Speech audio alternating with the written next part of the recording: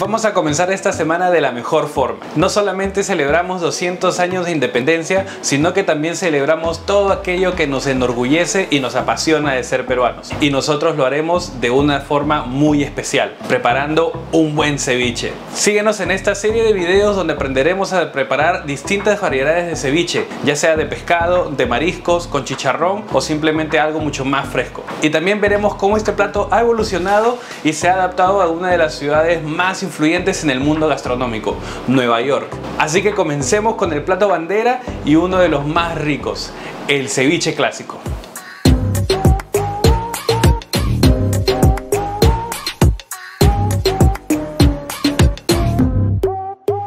El ceviche clásico es el plato bandera del Perú y esta preparación es muy sencilla pero hay que tener en cuenta unas cuantas cosas. Los ingredientes tienen que ser lo más frescos posibles y sobre todo cuando estamos hablando del pescado.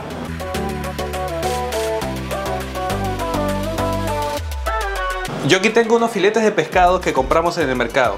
Pueden utilizar distintas variedades, ya sea lenguado, cabrilla, mero, cachema. Cualquier clase de pescado va a quedar perfecto para este ceviche. Lo único que tenemos que tener en cuenta es que tiene que ser lo más fresco posible para que así tenga un mejor sabor y un mejor resultado en su preparación.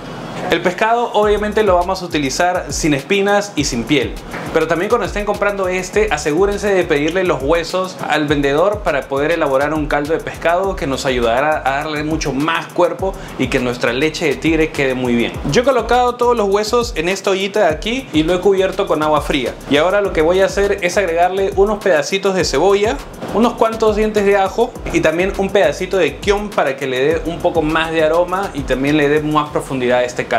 Y simplemente lo vamos a llevar a cocinar a fuego medio bajo por aproximadamente 20 minutos. Siempre asegurándonos de que este no esté hirviendo de forma tan agitada para que así no malogre nuestro caldo. Recordemos que queremos que esto sea lo más sutil y lo más delicado posible.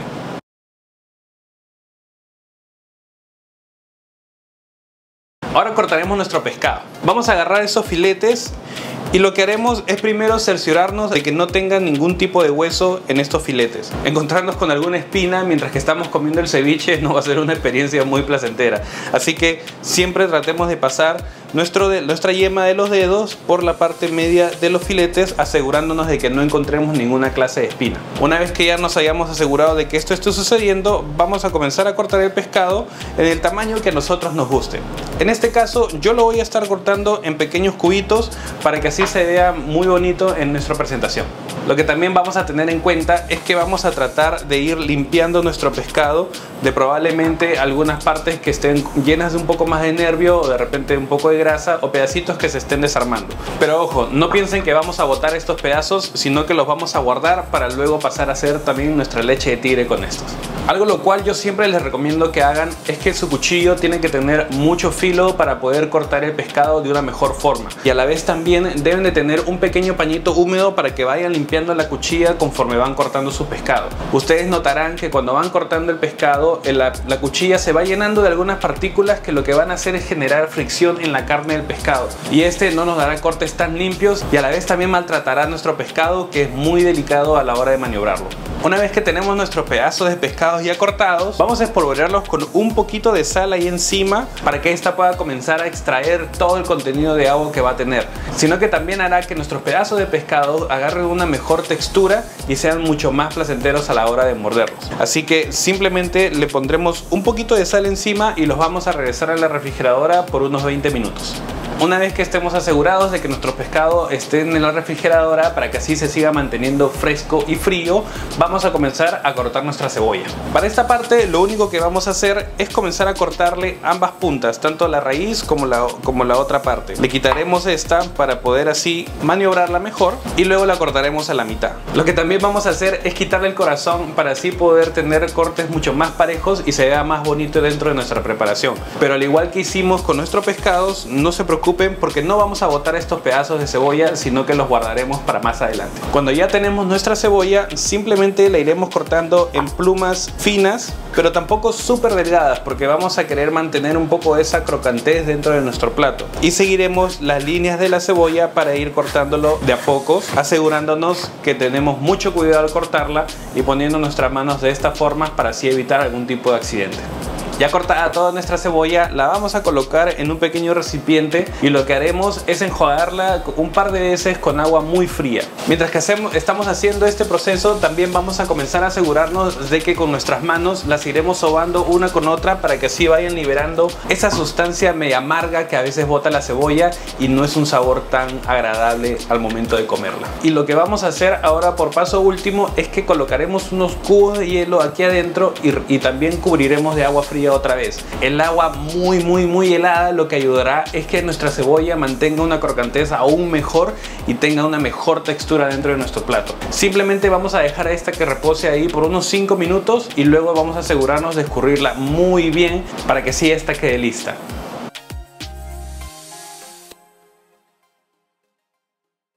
Ya tenemos nuestro pescado cortado, nuestra cebolla cortada, entonces ahora exprimiremos nuestros limones. Para esta receta vamos a utilizar unos aproximadamente de 8 a 10 limones o su equivalente aproximadamente una taza de jugo. Esta es otra de las cosas que yo aprendí en los trabajos que he tenido. Lo que vamos a hacer es cortar los limones a la mitad y los vamos a colocar en un recipiente donde puedan tener suficiente espacio para poder moverlos. El propósito de este es que lo vamos a cubrir otra vez con agua fría y lo que haremos es comenzar a sobarlos y a moverlos con el agua fría un rato ahí para que puedan así liberar ese aceite que la cáscara bota cuando cortamos esta. Muchas veces no tomamos atención en eso, pero nos preguntamos de vez en cuando por qué es que nuestro jugo de limón sabe un poco amargo. Y a veces es porque el contenido de aceite que se encuentra en la cáscara es demasiado alto. Entonces, al remojarlo y, y, lavarlo bien en un poco de agua hará que este se disipe un poco y ese sabor no sea tan intenso como probablemente lo sería. Eh, yo les recomiendo 100% de que tomen este paso extra para que así se aseguren que el ceviche les quede de la mejor forma posible.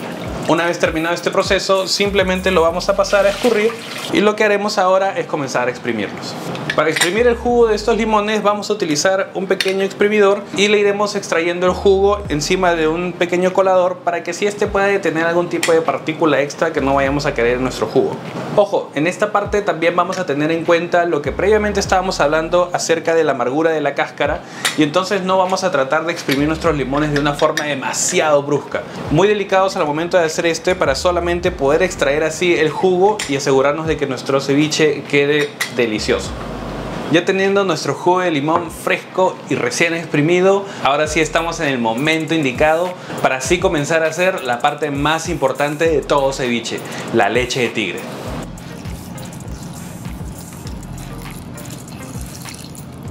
La leche de tigre es ese juguito rico y picante que tiene el ceviche y que le da su sabor característico. Este nombre se le da porque debido a la mezcla de todos los ingredientes que conlleva, le dan esta textura medio lechosa y media blanca que a veces genera la sensación de que, fuera, de que tuviera un poco de leche. Y aunque tenemos bastantes variedades de ceviches donde la gente utiliza un poco de leche, esta preparación base no lo tiene, pero igual se ganó su nombre como leche de tigre. Así que vamos a comenzar a hacer esta receta que te servirá de base para hacer cualquier preparación de ceviche.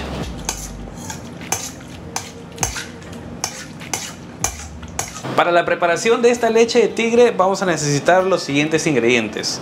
El jugo de limón, caldo de pescado que obviamente tiene que estar frío porque si no el caldo caliente lo que hará es malograr el resto de los ingredientes que tenemos aquí al lado.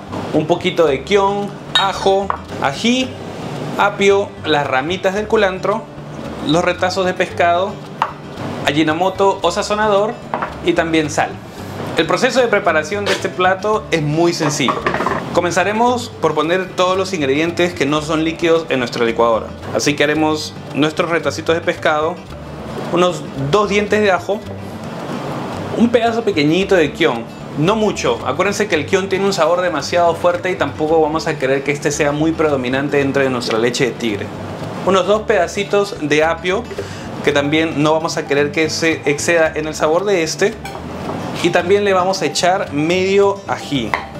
En este caso yo estoy utilizando un ají habanero, que es un muy buen sustituto para el ají limo que tenemos en Perú. Este también tiene mucho aroma y mucho picante, así que también solamente le echaremos la mitad, evitando de que se esté yendo algún tipo de vena o pepa que de repente vaya a hacer que nuestro producto salga demasiado picante. También le vamos a agregar ramitas de culantro no las hojas. Lo único que queremos aquí es que las ramas de culantro le agreguen un sabor muy especial a nuestra preparación. ya que las hojas de culantro se las estaremos agregando al momento que estemos mezclando nuestra leche de tigre con los pedazos de pescado y el resto de los ingredientes. Y además también le vamos a echar una cucharadita de sal y media cucharadita de Ajinomoto o sazonador. Y una vez que ya tenemos todos nuestros ingredientes aquí, vamos a proceder a agregarle nuestros ingredientes líquidos. En este caso, el jugo de limón y la misma cantidad de caldo de pescado. El propósito de agregar el caldo de pescado es que le va a dar un mejor cuerpo a nuestra leche de tigre y ayudará a balancear la acidez del limón. No queremos que nuestro ceviche quede demasiado ácido al punto que no lo podamos comer, pero tampoco queremos que este se pierda en el resto de ingredientes. Así que siempre tengan en cuenta que van a agregar la misma cantidad de caldo de pescado por la misma cantidad de jugo de limón. Y una vez que tenemos todos los ingredientes en la licuadora, vamos a pasar a licuarlos. Solamente licuaremos esta preparación por unos 10 segundos. La idea no es crear un jugo, sino que solamente las cuchillas puedan extraer los sabores de los ingredientes que hemos puesto y así el caldo de pescado y, de limón, y el jugo de limón se puedan aromatizar y se combinen bien con estos sabores. Entonces, una licuada muy rápida y ya tenemos lista nuestra leche de tigre. Ahora que ya tenemos nuestra leche de tigre licuada, lo único que haremos es agarrar un recipiente con un colador y la vamos a pasar por esto para poder así detener toda nuestra leche de tigre sin ningún tipo de, impureza y además poder asegurarnos de que sigamos extrayendo todos los jugos que pueden darnos estos vegetales que acabamos de licuar. Y conforme van colando su leche de tigre, van a poder ir oliendo todos esos ingredientes que le van a dar un sabor muy rico. Se comienza a abrir el apetito cuando estás comenzando a hacer esta parte. Bien colado ya y asegurándonos de que le hayamos extraído todos los jugos posibles a todo lo que eh, se quedó en el colador, nuestra leche de tigre está lista. Blanquita, con muy buen aroma. Mm. Este ceviche va a quedar bomba. Así que pasemos a terminar de cortar los últimos ingredientes para comenzar con la preparación. Obviamente un buen ceviche va a necesitar unos buenos elementos aromáticos y sus amigos predilectos van a ser siempre las hojas de culantro y también ají picadito. Así que eso es lo único que vamos a hacer ahorita. Vamos a comenzar a sacar las hojitas de las ramas de culantro obviamente asegurándonos de que este se encuentre muy limpio ya que a veces el culantro puede tener demasiada tierra y arruinará honestamente esta preparación y lo que haremos es simplemente cortarlo muy finamente para que este se pueda mezclar de forma perfecta con nuestro ceviche. Y lo mismo haremos con nuestro pequeño ají que vamos a cortarlo cuidadosamente evitando que no, no toquemos mucho ni tampoco cortemos demasiada de las venas y las pepas a menos que obviamente te guste tanto el picante y lo que vamos a hacer es cortarlo en tiras delgaditas primero para luego pasar a cortarlo en cubitos aún más pequeñitos uno de los motivos por los cuales a mí me gusta hacer ese tipo de corte con el ají es que los pedacitos pequeños de ají van a poder ser mucho más fáciles al momento de mezclarlos y no van a ser tan picantes al momento de comerlos. Si de repente tú te encuentras con un pedazo demasiado grande de ají y lo, muerdes y lo comes, hay muchos que no pueden comer demasiado picante y esto prácticamente les arruinará la experiencia.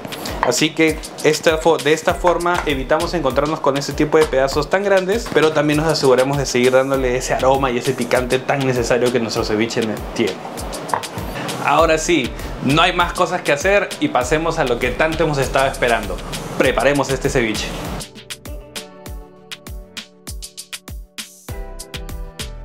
Listo, esta parte es muy fácil. Simplemente vamos a agregar los pedacitos de pescado que previamente habíamos cortado y que estábamos guardando en la refrigeradora le agregamos una buena cantidad de culantro para que tenga buen sabor. El ají que habíamos picado. Sal. Cebollita. Y lo vamos a bañar con nuestra leche de tigre.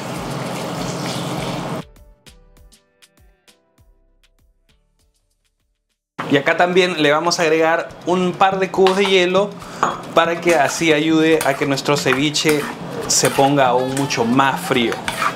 Créanme que cuando su ceviche se encuentra mucho más frío, tiene mucho mejor sabor. pero también no vamos a dejar de que estos hielos se derritan y le bajen la acidez a nuestro ceviche, sino que simplemente les daremos unas vueltas por ahí un rato para que los enfríen y luego los sacaremos para poder así servir nuestro ceviche. Ahora lo único que tenemos que hacer es platear nuestro ceviche. A mí personalmente me gusta utilizar un plato hondo o algún tipo de recipiente para que así pueda mantener todo ese juguito y sea mucho más fácil de comerlo.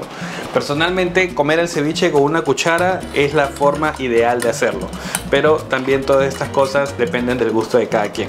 Vamos a colocar unos pedazos de pescado con cebolla en el medio asegurándonos de que lo estamos colocando muy bien para luego bañarlo con más de ese juguito tan rico que es la leche del tigre para nuestro ceviche.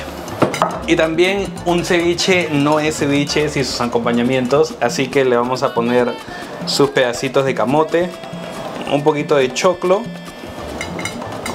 y su canchita tostadita encima. Y aquí está nuestro ceviche clásico que les aseguro les va a encantar y les va a dejar chupándose los dedos. Es muy refrescante, muy ligero de comer, muy fácil de hacer, así que aprovechen en hacer esta receta que les aseguro les va a encantar. Pero además también, como les decía, esta receta de leche de tigre les va a servir de base para preparar infinidad de ceviches. Y eso lo vamos a poder ver en los siguientes videos de esta serie donde vamos a hacer otras clases de ceviches que también les va a encantar un montón.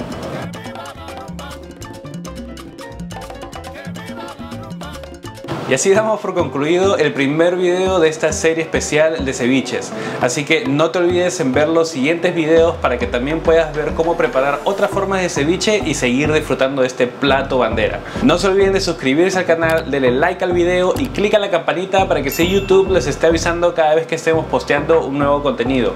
No se olviden de seguirnos en las redes sociales para contenido extra y también que la receta completa siempre se encuentra abajo en la descripción. Así que apunta. Cuídense. Chao.